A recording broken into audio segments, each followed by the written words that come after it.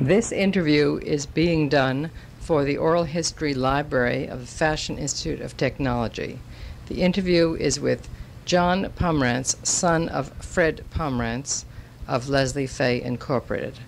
The date of the interview is November 11, 1981. The interviewer is Mildred Finger. Um, John, could we just begin back a little bit and tell me when you first got into this business and what you did when you were in it? I started in 1955. I graduated from Wharton School. I went to live in Wilkes-Barre, Pennsylvania. I lived in a factory. We had an apartment in a factory. I lived there for about a year, doing all sorts of jobs. I went through every type of job, and um, ended up being the assistant to the president to the general manager, I guess he was then. Was that Zachary? Zach Buckwalter, yeah.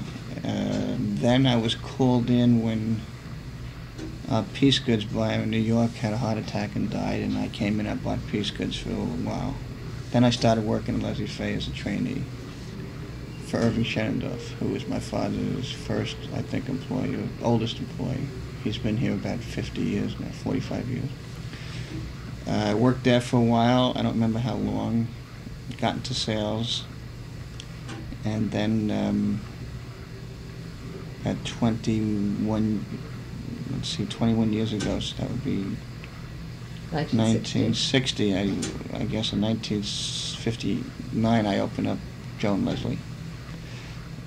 Uh, I went over 1960. We moved over to 7th Avenue to 537th Avenue on the fourth floor.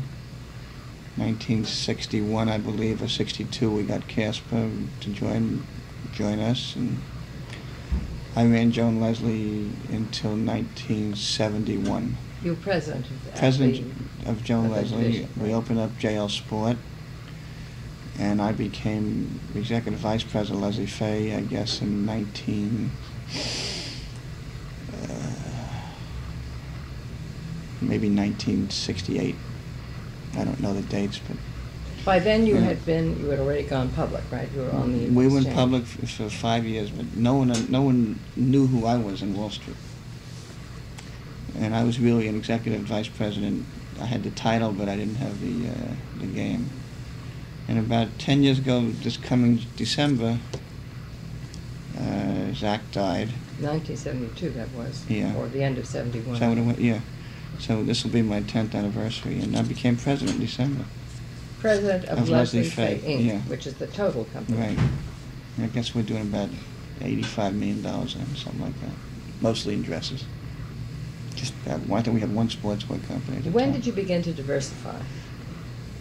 I guess we just started to diversify in nineteen um. I haven't got a timetable because you know how we did all this, but we really started getting into sportswear in a major way. Well, in 1962, when you went public, it was just Leslie Fay Inc., right? Right. The we- one I think we did sixteen million dollars or something like that. It was. Le- I think it was Leslie Fay, uh, Briar Brook Suits at the time, and uh, Leslie Palmer might have been with us then, half sizes. Mhm, Um, I think that's what it was. I And guess some research. Res- I, don't, I don't have the figures, but I know that's what it, I think it was. Um, we we just started branching out into other into other areas. Acquisition or, or by internal opening of divisions? Both, mostly internal. We acquired personal sportswear. Now, I don't know the date of that, but I guess that's historical. And um, that was before I became president.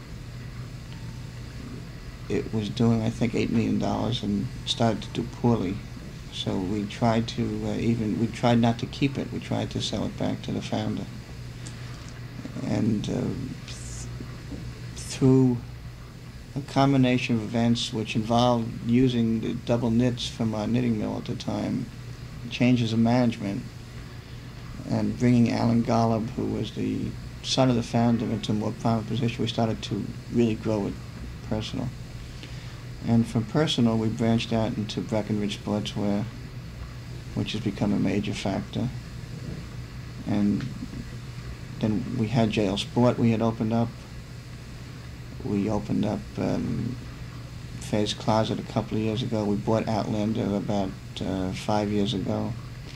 We bought a company called Nativo about five or six years ago. Those are two sweater companies. Uh, from Breckenridge, we opened up a company called Victoire, which which is sportswear. So today, we probably have more sportswear companies than we have dress companies. We do have more sportswear companies than dress companies. And we have, um, but I, th- I still think we do more dress business than we did before when we went public, or when I became president. So even though we've grown our sportswear tremendously, we still do more business in dresses than we did 10 years ago, but with much fewer companies. What do you think were some of the are some of the differences in techniques that you're using today uh, as against the techniques of um, ten years ago? Well, we've obviously become more um, uh, not automated, but more dependent on a on on on data. We've learned to use data better, more efficiently. We've become very efficient in, in our collection area. Um, I think what, What we've tried to do a collection is is working with the stores to get paid. Oh, And what right. we've, yeah. I, I guess what we've tried to do, and when we are successful, this is the making of a successful company, to use modern information and yet use it in a way that the certain talent that that individual has, um, the, the individuality of, of, of his, of what makes him tick can still be used. It can't be a strictly an automated business. It's got to be a business with a heart, and um, you can't take that away. But you could give that man more information. when you say that man, you're talking about the heads of each The heads of the companies. companies, yeah. Uh, basically, the other thing is we've gotten big. We've gotten respected. We always were respected, I can tell you that. But uh, a new generation of retailers has grown up, and I guess the important part is that they've kept that respect. I was thinking about the other day because if we go private, uh, my father's been in business for 60 years, and there's possibility that this company could become a 100-year-old company in a you know, in a, in a field that really is not prone for that kind of a business. It's there's a there's a saying in in a, in our business you should close every seven years. Oh, really? Yeah. Because it's hard to keep doing business and the overhead goes up and you can't keep making the money. But uh, it's a great industry. There's a chance for someone to come in with no money and do it, but it's also an industry today that's starting to recognize bigness. And um, I guess the strengths that we have, we've been able to attract people. Uh, we've been able to surround them with the proper information and the trop- proper balance that gives them the opportunity to make money for us and for themselves. Um, what are some of what are some of your what is some of your philosophy about advertising? Because I noticed that in French Vogue uh, some years ago there were ads uh, by American companies, including Joan Leslie and Leslie Fay. My philosophy about advertising is uh, you can never do too much of it, but it's got to be proper advertising. It's got to it's got to work um, arm in arm with the marketing part of the business. And I don't think it's enough to just to just um, make an image, even though I think that's important. But in some of our companies, we're in the moderate to better field, and with the exception of Kasper, we're not in the designer field. So we have to try to make an image for that company, but we got to sell a lot of merchandise off it too, because our business is to grow. I think advertising helps you grow. I think some of our divisions don't use it right, and I'm trying to get them to, but it's an individual kind of thing. Basically, in a company our size, where you are hiring people and giving people the responsibility of running their companies and spending the money, and unless you want to sit there and make every decision for them, you can't just make some decisions. You have to let them make all. Sometimes they're good and sometimes they're not. And uh, I encourage, one of the things I try to encourage is, is advertising techniques, because I believe in it. Um, each of the companies is run individually, Mhm. and some of the companies vary from each other in terms of basic policies. Uh, some of the companies can vary as far as basic policies, yes. I haven't set a complete corporate policy in everything we do because um, I'd be restricting them. And I think that's been some of the some of the problems that have happened in this industry is when companies larger who are not used to being a power company try to set guidelines that are not based on our business. Basically, we have 15 companies that come to market five times a year. So that's 75 markets. You mean they make 75 collections a year? Yeah, five them? collections a year, 15 times. That's 75 collections, each of them averaging 60 garments. So basically, I'm coming out with anywhere from five, four, 45 to 5,500 items, and it's it's just something that can't be um, completely legislated. So um, Each, each firm has its own showroom? each firm has its own showroom. A lot of companies don't do it that way. Yeah, that's why I'm interested. Yeah, it's very much. This is more expensive. But I believe that uh, if one guy tries, one man tries to do too much, he's going to end up ruining the both companies. So we try to have each company with its own firm, its own salespeople. We don't like to have them share. Uh, we like the company to stand on its own. Oh, separate designers? Separate design staff, uh, separate production staff, and separate sales staff. So that what holds it all together, or where, where you are, a corporation is that where you collect information. I assume that that's a centrally Mhm. operated function. Central, oper- central operating functions, we do share shipping quarters. We, um, we supply the, all the accounting and all the financial and all the data processing, all the legal work. Um, basically, that's what the corporation does.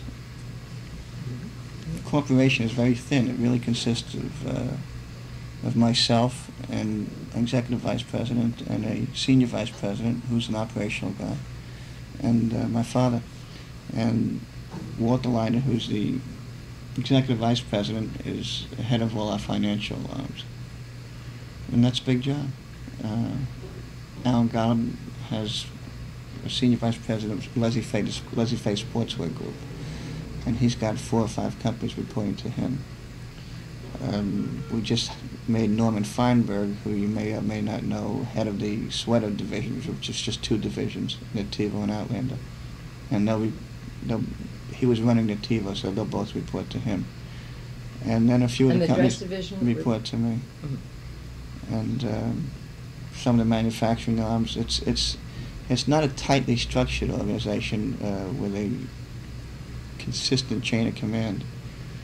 And um, obviously, I float in and out of all the companies, and and there doesn't seem to be any um, feeling of uncomfortableness with that.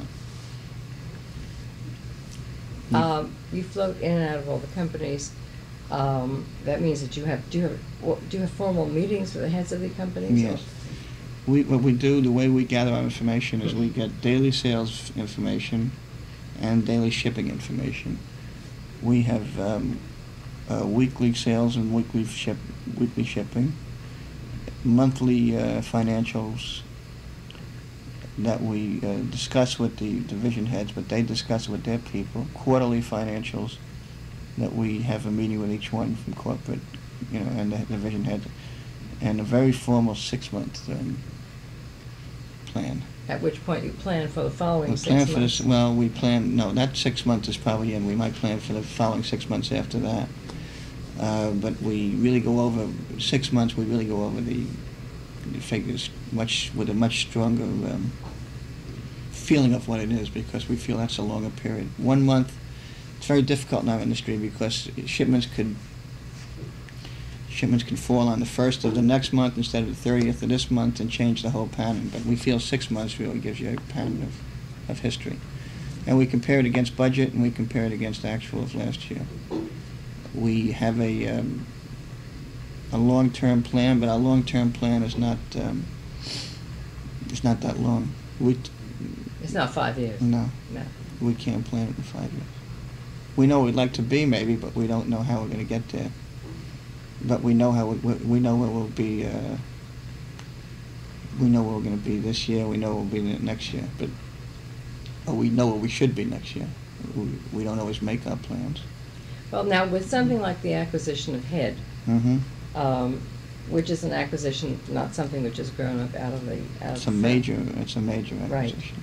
Um, that, is that, that, that would be, I assume, something, I shouldn't assume, but was that planned well in advance of the actual happening? That's been six months in the works, and uh, very t- tough negotiations with AMF, but very, you know, fair. Um, that's the biggest thing we've ever tried to take on. We felt that they needed an apparel feeling about that. They were being run as a AM, AMF was was um, more strict, and what we're going to try to do is just take the reins off and look at their products, try to get them into products they're not into, try to go over their, you know, who their people are and, and their methods of distribution. But that was something that um, I can't tell you we plan to buy Head, but we, the t- the long term, the short term plan was to get into the active active sportswear business. So that's really how it started. And we deciding. approached Head with it. We approached AMF rather. They didn't approach us. Mhm. Is Alex Schuster still there? No, he's resigned. He's resigned. Mhm. So that, um. He, I'm- I'm- he resigned the first day we we took it over. Mhm. He didn't want to work for us. So you will be putting somebody else in. Well, they have a president of America and they have a president of Germany, and we don't know what we're going to do yet. We're going to just look at it and make the people comfortable and um, see what it is. There was no sense examining it until we owned it. It seems that they were meeting with Alex Schuster at the same time they're meeting with us, and he was hurt and disappointed he didn't want to work for us. So, you know, if someone doesn't want to work for Leslie Fay, uh, he doesn't. He doesn't have to. But we'll make another Alex. We'll make someone better, hopefully. I'm sure, I'm sure. Tell me something about uh, going private at this point, because it does make you uh, one of the first. Well, it's a very interesting situation here. We have an 81-year-old chairman who has 20 with his with his family, excluding me. He has about 25% of the company. Um, these we think and always have felt that this is the best apparel company. I think we've exhibited we've never lost money. Even when we closed our knitting mill, we made um, we made money. And um, When did you close that knitting mill? two years ago, You decided that there was no point in having that sort of operation. it was the wrong thing. It was tragic, but it was the wrong thing. But I guess the lesson that teaches you is that this business has a lot of changes, and uh, the successful people are the ones that change.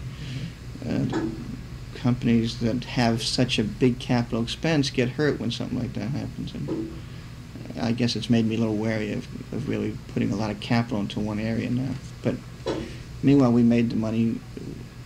We became. We were still profitable. We closed it.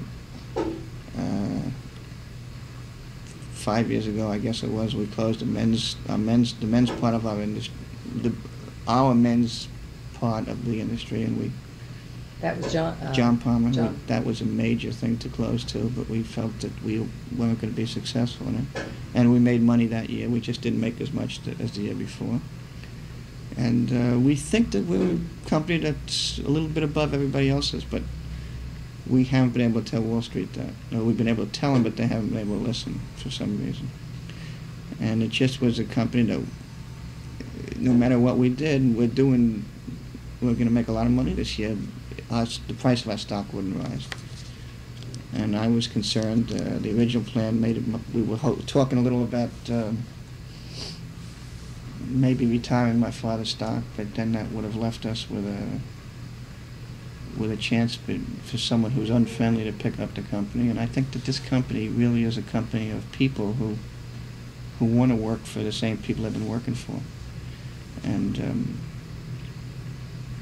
this gave us an opportunity for my family and the stockholders to get what I think is a very good price at today's market.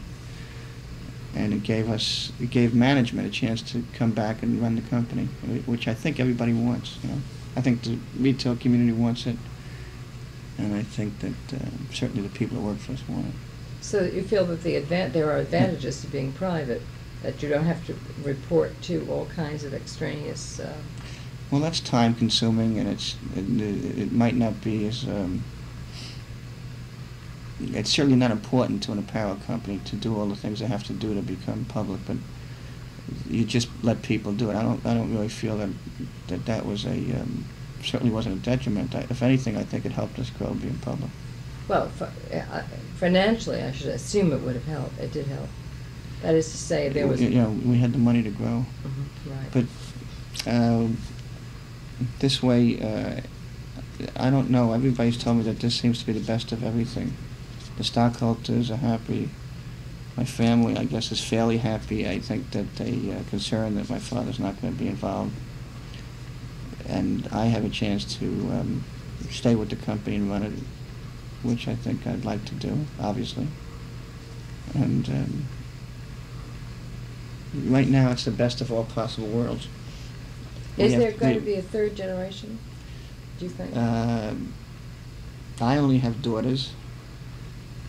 I don't. the One, my oldest is seventeen. I don't know if she wants to come into the business. Um, I do have a nephew who's in the business and who's twenty-nine or thirty now. My sister's boy, Uh-huh, right. Andrew Gross, who's probably the smartest man in the whole company already, and he's running uh, a small new company we just built, personal petite, petite sportswear.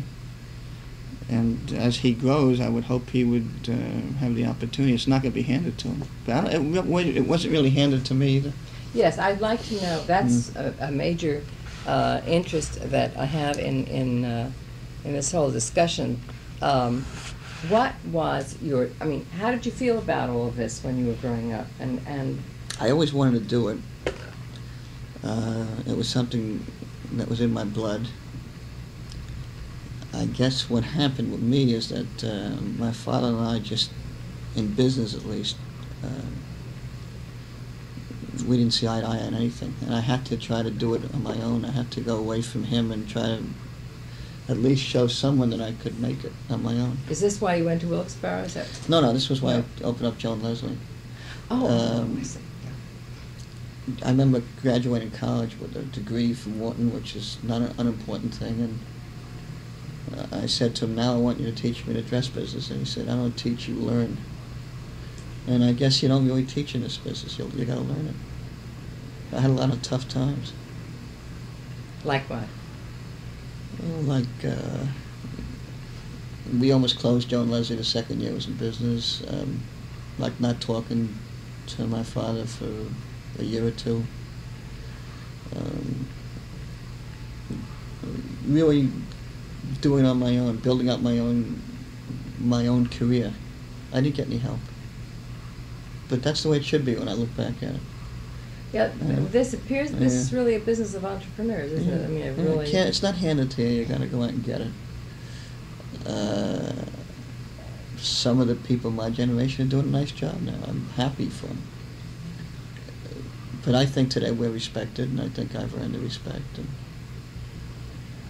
you know, I would hope my father understands that, but he finds himself in competition sometimes. He doesn't even know we. Ha- I mean, he does know obviously that we have the companies, but he's like you say, he really is interested in Leslie Fay. Yes, he's and very Leslie proud. Fay is having the best year they ever Extremely had. proud of you. Yeah. Um, the, uh, uh, and Leslie Fay is having a big year. Yeah. Let me tell you how I, how I view the industry. I think what he did uh, was incredible. I can never think of doing it because this, the history of our industry is it's not always a pretty history, and it needed tough people, strong people, and he didn't have education, and he did it. And he turned it over to me, and I uh, he didn't turn he turned it over to someone else who who, who I inherited the job from. Um, You're talking about uh, 1972 and Zach yeah, yeah. I don't think that uh, I think I was the right person in 1972 to run this company. I've brought it to where I'm going to bring it to, and then the next guy that's going to come over and I'm going to let run run it. I'm going to look at him like he, everything he's doing is wrong. But I guess that's the way it is because the, the sophistication is so different today. Than you still need you still need that talent. Uh, that entrepreneurial talent, that design talent, whatever you want to call it, but it's only really great when that talent blends with the sophistication, and that happens once in a while. It's nice to see when it happens. We we we're just a company of people, uh, maybe not the best people in every spot. Uh, I don't know if you know I don't know if if I've I try to attract very good people, pay well. They make a lot of money here. Uh, I've never felt that I had to be the highest paid earner in Leslie Fay. Have But- you got a policy of bringing them up through the ranks, or do you do a lot of hiring We do outside? both. We do both. Both. Yeah. And I think we've learned a lot from the outside people, but also the outside people learned a lot from us. Um, but I think on a whole we've attracted better people than other big companies, and I think that we're combination of uh, talent, and and we still we still care. I think that's nice. You know? I don't What- think some of the stores we sell care. Today, I I don't think that we've developed into that hard-nosed um, uh, business at any cost kind of a thing that some of the people we're doing business with have today. But I guess we're getting there. Um, tell me something about the policy of selling one store in a city, for example. Do you do that in some of the divisions, in all of the divi- divisions, or in none of the divisions? we police who we sell, but I don't think we confine. Uh, if a city's small and we don't feel we could get, you know, we feel it would be not self-serving to to sell more than one account, we'll, we'll only sell one. If the population is such that we feel we could do good with, we could do well just selling two accounts, we'll sell two accounts. So, but when you talk about big cities, we really don't confine. We might have one or two confinements, but I, I don't know about it. But we try to go after the best stores, and we try to make sure that they, um, you know, we don't have break dates and things like that. But what we try to do is sell them enough so we don't have to plaster our goods all over the city because I don't think that's a good idea. What happens if you acquire a company that has had policies different from your own? For instance, when you acquired R and K. No, we didn't acquire. Okay, it was Logan, but Oh, I'm. s- yeah, Yeah. Take that out of the tape. Sorry about that. Uh, yeah. Okay. Um, but there were um, one of the things that was a bit unclear in my head after I, when I talked to your father mhm. is this whole thing of one exclusivity, which was apparently a selling device. at the beginning, that's the why he beginning, opened right, Leslie Fay. Right. Yeah. Well, that was because Leslie Fay was a grand was a child of his company called Palmette. Right. And to differentiate, he tried to do it that way. But then he found that it wa- he wasn't sophisticated to check on it, and uh, the stores weren't growing enough. So that's what he's. And they would, you know, he like he said, he's I'm not the businessman, even though he was a great businessman and a great seller. He wasn't the record keeper that could see if the company was doing a hundred thousand or a hundred and ten thousand or ninety thousand, and uh, he just he he started it that way, but that's definitely what he doesn't he doesn't care for that, and we don't do that. What about this business of requiring that stores buy a certain number of stocks?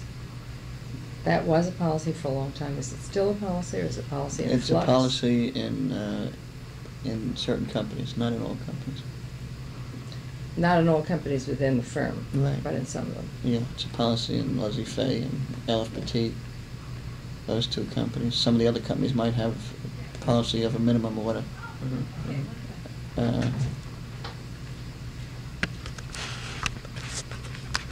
Yeah. Um, could we talk some about your childhood and what it was like to grow up in the family of a, man who was as dedicated and as individualistic a person as your father? I don't remember having a childhood.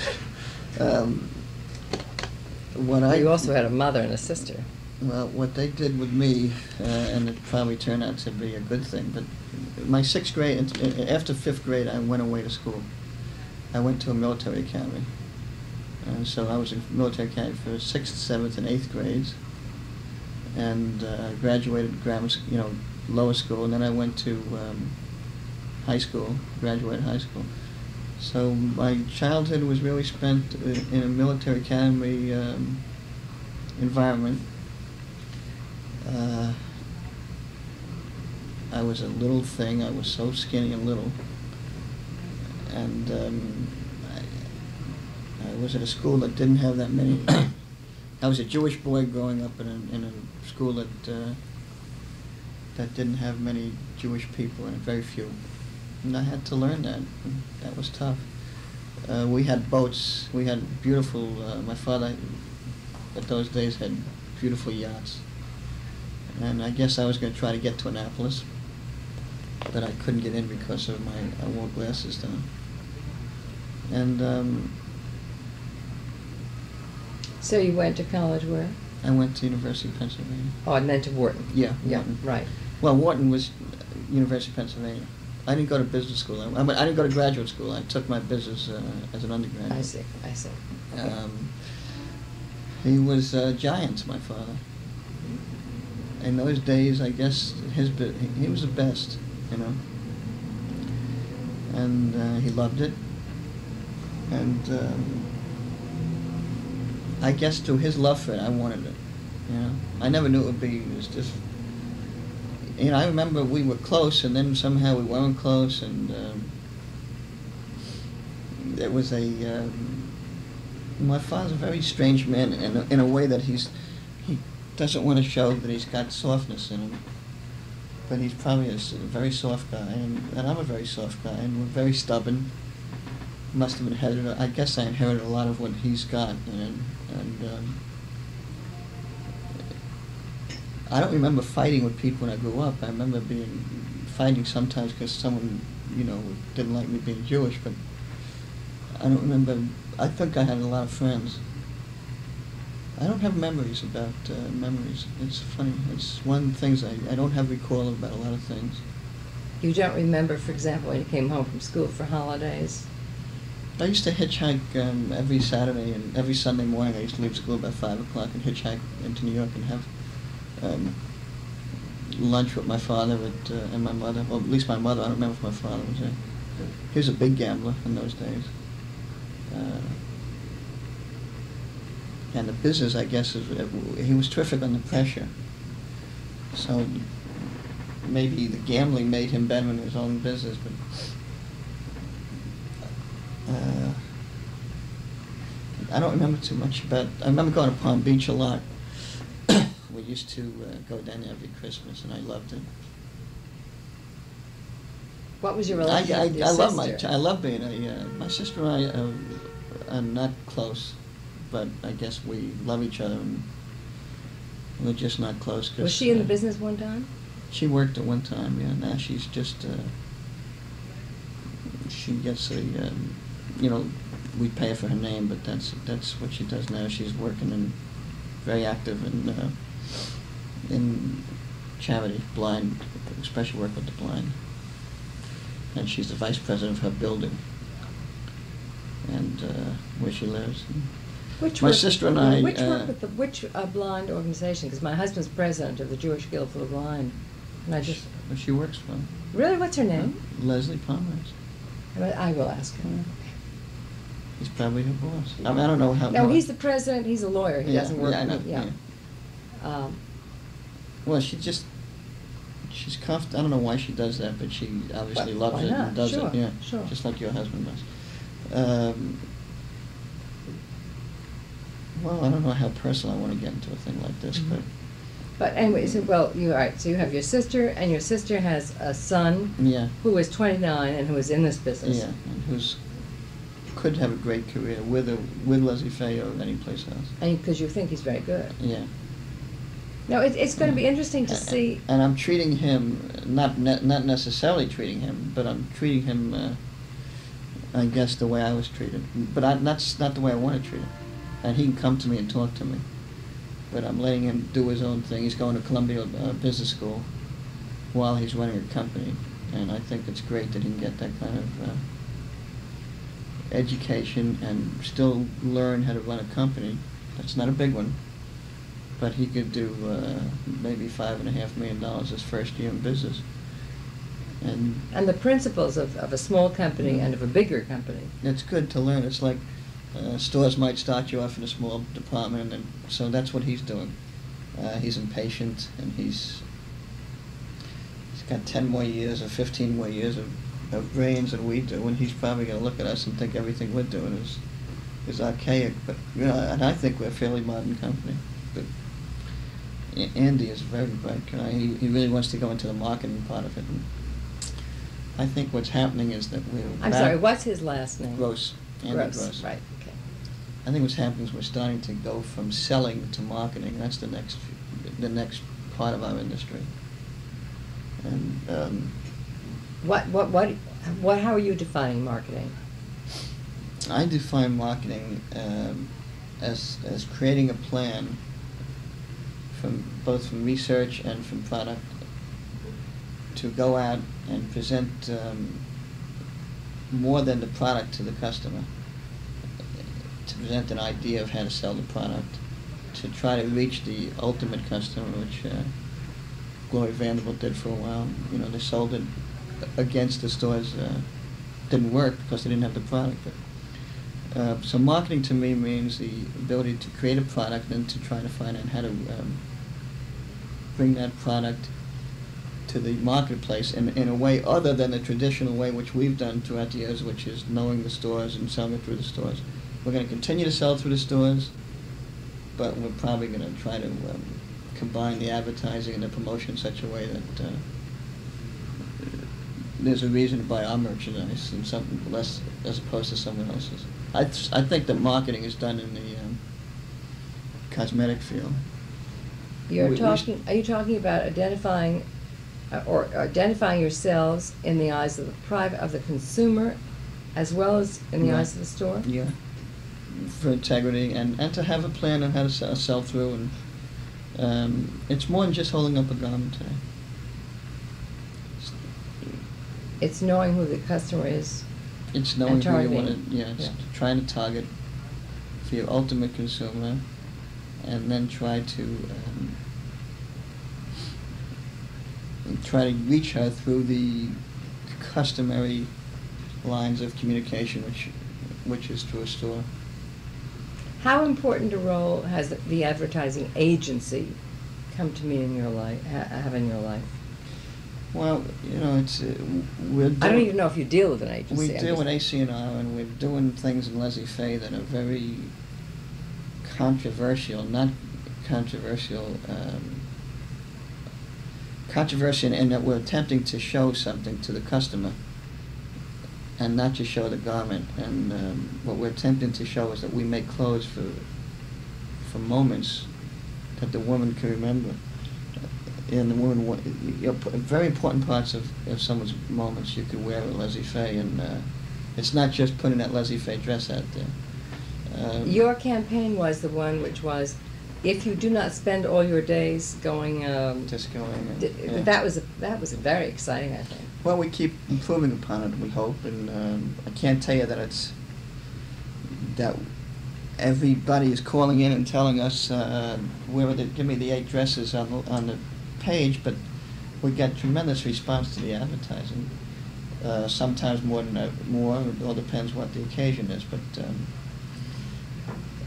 we're creating occasions. We're spending a lot of money doing it because it's uh, eight to ten people in the ad. Uh, obviously, the production costs are, are um, important. And we're, we're really not trying to sell one dress. We did an ad the other day on a um, petite dress. We just showed the girl, and we had uh, almost a thousand responses to it. That's one kind of an advertisement. This Yeah. is another kind of an advertisement. Now, does this work? Leslie Fay division is pulling away from their competitors. I don't know if it's worked because of the advertising, but I think the advertising helped us to create the product.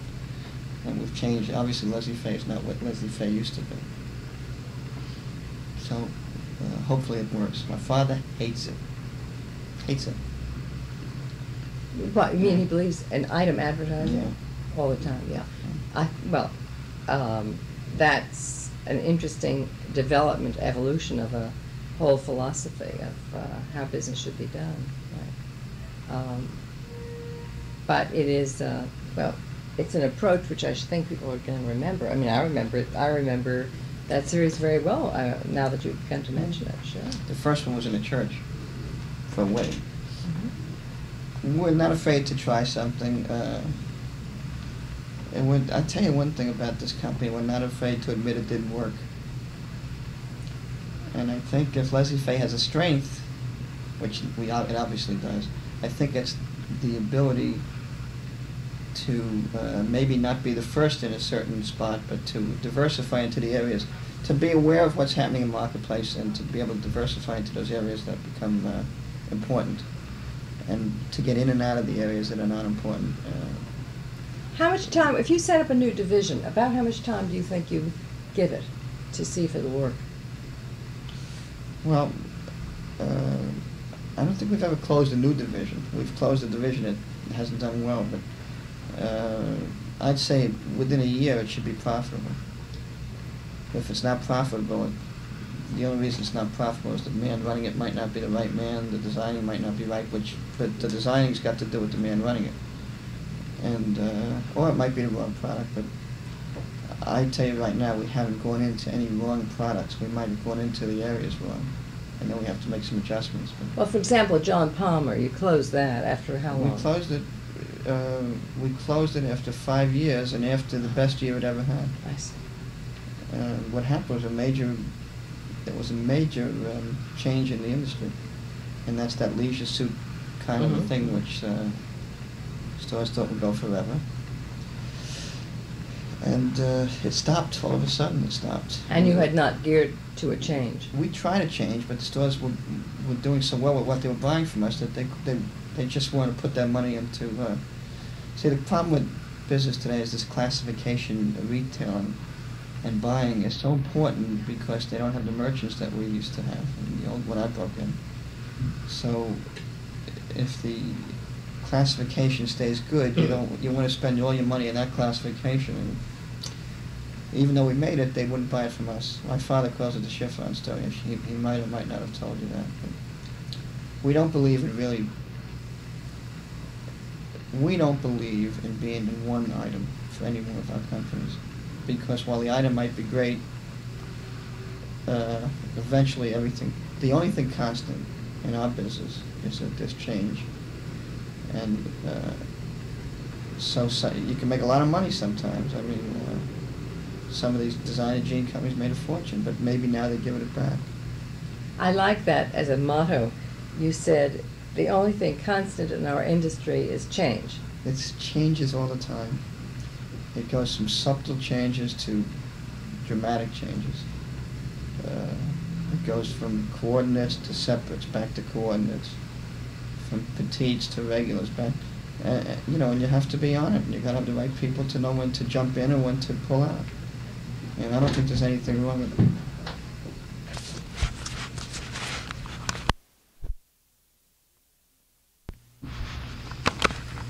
The other thing is that today the, um, the important part of our industry, the growth part of our industry, seems to be in the activewear. That's why we want to be in the activewear, and that's why we bought uh, Head. And, you know, we're going to obviously put Head into a lot of areas that gear to active and weekend clothing that they're not in today. And then hopefully we'll go into Europe, and um, maybe this will be the chance for us to get into Europe, which is a whole other story.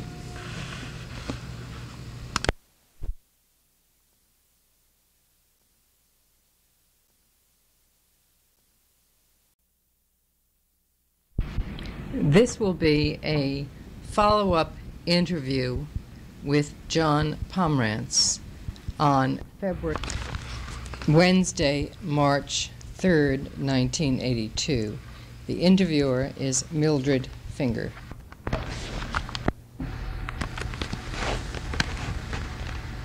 Should we talk a little bit about what that whole other story is about Europe? What what do you mean? Well, uh, I think that if we are a typical American uh, manufacturer, and I, even though I think we're a good one, we probably are typical, we don't really know the European market.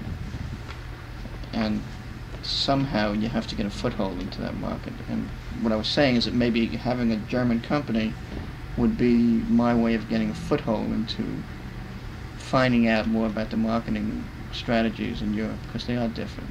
Different tariffs in each country, um, different kind of stores, different kind of advertising, different kind of everything.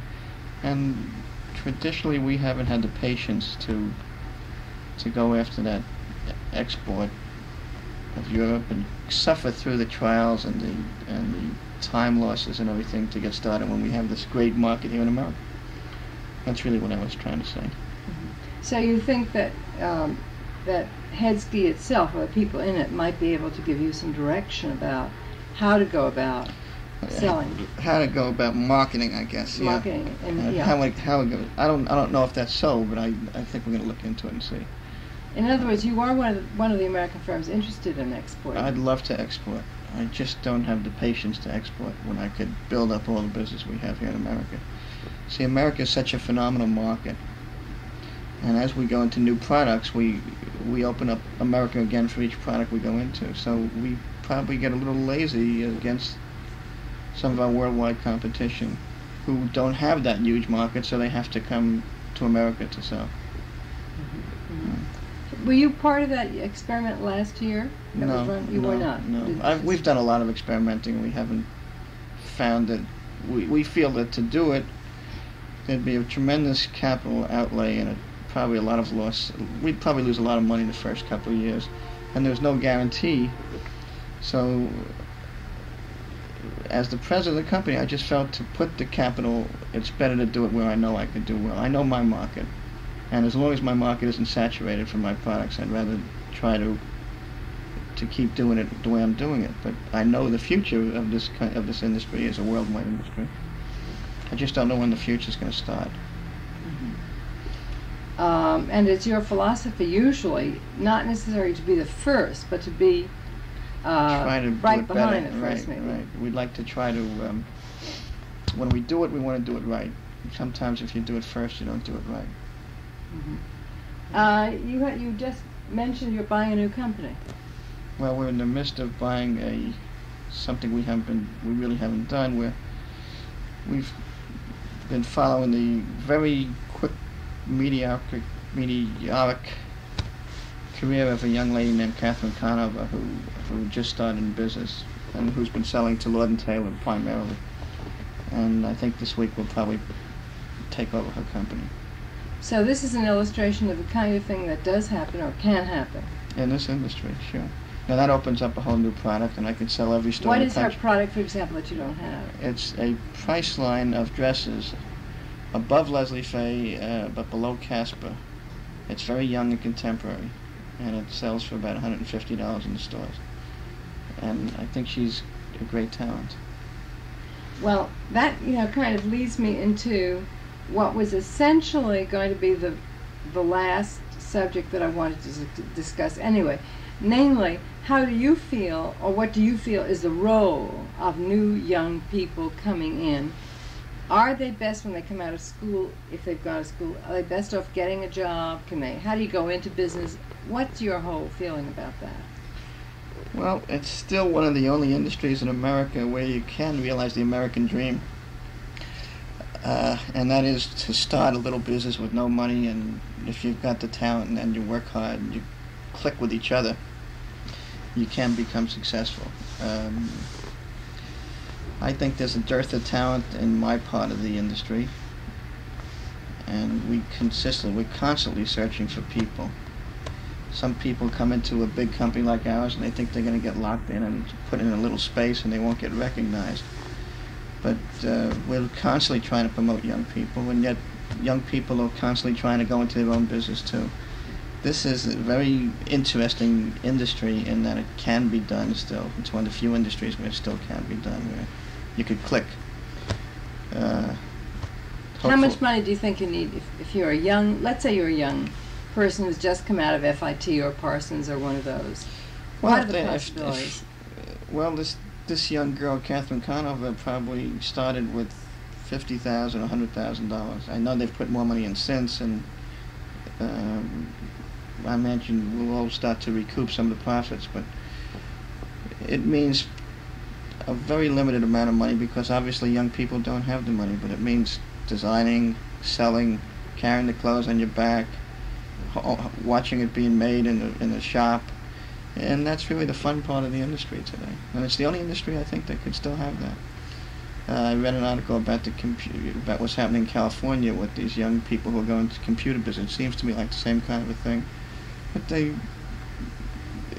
th- This is an industry that's really crying out for young people. You think that there is really room still? There is room. Oh, this this is definitely it's it's the next ten years in this industry could be mind-boggling. Because we don't even know who our customer could be ten years from now. Could be the department stores. It could be that we'll be selling television, uh, cable new cable networks. Uh, uh, could be that there won't be a traditional department store. It looks to me like the traditional, small, specialty store is having a lot of troubles right now, and I don't know what, you know, in the next few years what'll happen with them. So it's a constant industry of change. And you're saying that at the moment we're, we're really uh, at the beginning of a period of which of, of, of real transition. I mean, that's what it, you. It sounds as though you're saying. I'm saying that the electronic industry has is going to change our industry probably, and it, it, whether it happens in the next ten years, well, I'll be here, or, or my predecessor. Someone's got to look into successor, I my uh, my successor. I mean, yeah. Right. um, someone's got to look into that because I think that's going to be the way of the future. Every day we hear horror stories about traditional old-line department stores having financial problems. The Bloomingdale's and the Saks Fifth Avenues and the Lord and Taylor's keep and the Macy's they keep doing well, but some of the second and third line stores in the cities are having are having great difficulty. So you think there's going to be a major, I and that there is so, a yeah. major. Hopefully it won't happen for a while, but I think it's something we all have to look into, which would open up a whole new industry for us because we'd have to be selling all new type of customers. So you think the distribution methods are going to be I think so. dramatically? Yeah. And I hope I'll be equipped to do it. You know, I I don't think that my father, who was phenomenal, could have done the things we're doing now, but I know I couldn't have done what he did. Yeah, right. But- so what now kind I of things are you doing now? What do you mean? Well, it- we're we're a, we're big, and the flow of information to our people is enormous. And you got to have the patience to read that information. You've got to have the patience to understand it, and you've got to have the patience to to marry that with the with what we want you to be, which is an entrepreneur. And the ones that can do that are successful. The ones that think in the past can't do it. Mm-hmm. So we're in the we've changed so in the last ten years, but then I think we'll change again in the next ten years. Mhm. It's a, it's going to be an industry of change. But yet, Leslie Fay has been in business for Leslie Fay by itself, under the Leslie Fay name, has been in business for about 42 years, and my father was in business 20, 25 years before that, 20 years before that.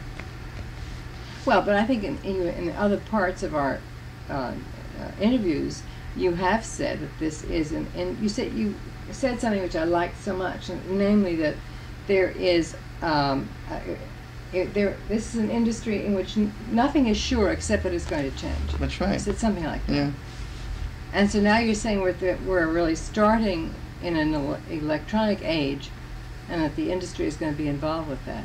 that's right. And there'll be home computers, and they'll be plugged into department stores, and they'll probably be seeing telephones, and you'll be able to see who you speak to on the phone, and you'll probably be able to see merchandise right from your home, and, and uh, you know, the, the next few years could be mind-boggling. Do you ever see this as being a direct sale to the consumer? Is that in your thinking? I've thought about maybe starting our own catalog for all our products, but that's still in the thinking stage. But I imagine we're going to get into something like that eventually, Mm-hmm. because that would make sense. Right. Yeah. Um, well, as you have said, the one thing that i- true all the time is that it changes constantly. So anything is open to you at this right. point. Yeah. Right.